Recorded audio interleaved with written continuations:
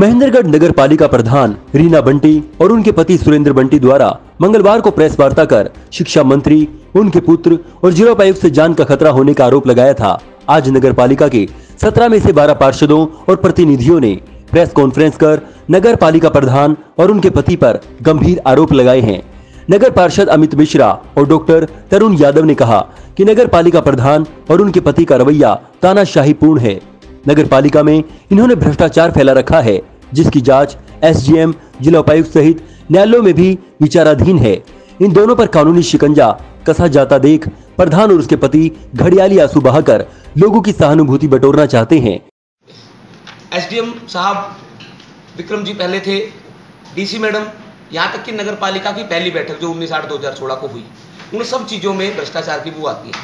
उन सब चीज़ों में वो दोषी करार होते हैं, उन सब चीज़ों में उनके दोष निकल कर आते हैं। चाहे एनओसी का मामला है, ये एनओसी के मामले में कंप्लीट एसडीएम साहब की जाँच एसडीएम साहब ने जाँच करके इवन प्लॉटों की रजिस्ट्री या एनओसी जो जारी हुई है, वो एनओसी तक बता रखे, एनओसी के नंबर तक बता रखे, इन सब में उनको दोषी ठहराया हुआ है।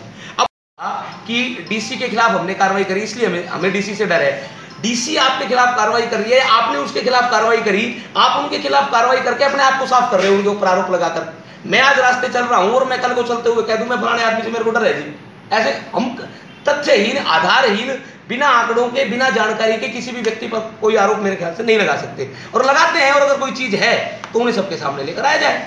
शिक्षा मंत्री ने उनको हर तरह से सहयोग दिया है लेकिन ये झूठे आरोप लगाकर अपने आप को लोगों की नज़रों में सही साबित करना चाहते हैं जबकि दोनों पति पत्नी भ्रष्टाचार में लिप्त हैं। एक शिकायत बारह स्थानों पर माननीय शिक्षा मंत्री महोदय की उनके पुत्र की और जिला उपायुक्त गरिमा मित्तल जी की की है। उसके संदर्भ में कुछ प्रश्न और कुछ चीज़ें निकल कर आती हैं वो हम मीडिया के माध्यम से उनसे पूछना भी चाहते हैं और आप लोगों के समक्ष रखना चाहते हैं और मेरे विरोध में है। अगर शुरू से वो विरोध में होते तो मैं मेरे व्यक्तिगत की बात करूँ या तीन चार पार्षद हम उनके विरोध में शुरू से रहे। अध्यक्षा के रीना जी के उस समय से समय समय पर हमारे पैचअप का काम उनको हर तरीके से सहायता देने का काम माननीय शिक्षा मंत्री जी करते रहे हैं। अगर ऐसी बात थी तो उन दो वर्षों में जब हमने कहा कि प्रधान यहाँ गलत है तो शिक्षा मंत्री जी उस समय भी उनके गल, उन, उन्होंने कहा कि उनके विरोध में है।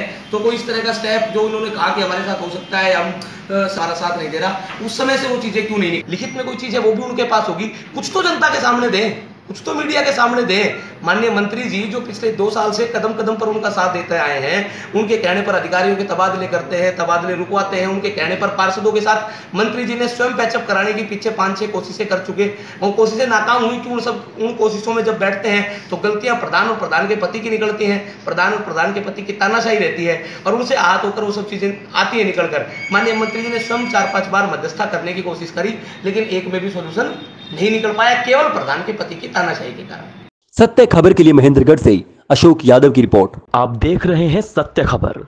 दबाइए ये सब्सक्राइब का बटन और पाइए देश प्रदेश की हर खबर।